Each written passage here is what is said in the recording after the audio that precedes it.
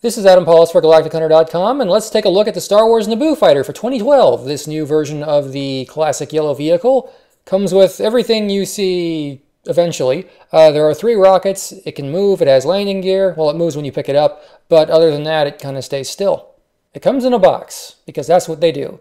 The back of the box shows some of the key features, and of course when you zoom in, there is a description explaining what the item is. You can pause that. The vehicle is long, and pointy.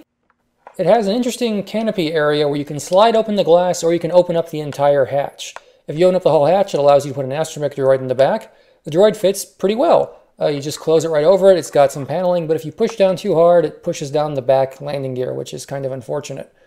Uh, as you can see, you can put a pilot in there like Ric Olié. I had to really cram him in there, but there's a really nicely detailed interior with uh, a flight yoke for him to hold on to. You can also pull out guns on the side, which is great. And you can see in this close-up, it just pops right out and you push a button and it launches really well. It, it, goes a far distance.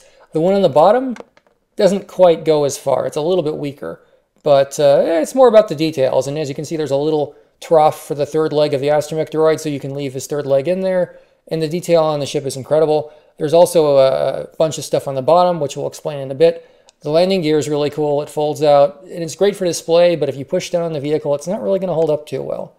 Now you can read this uh, commentary on what those numbers on the bottom mean, but while that's going, I'm going to tell you the ship is a very good ship. It's pretty durable. The side cannons are great and lots of fun. The bottom cannon, not so much. The wings were designed to fall apart during uh, stressful play, so when you're playing with it, you, if you pick it up by the wing, it might fall off. Fair warning. It looks great. It's bigger than the original 1999 ship, and I love the uh, astromech socket. I can put my droid that I want in now, so I recommend it, but it is not a perfect vehicle, but it is very good, and you can order it at entertainmentearth.com today, and you can read more reviews at galactichunter.com, and if you enjoy this video, tell a friend, because otherwise nobody knows I'm here.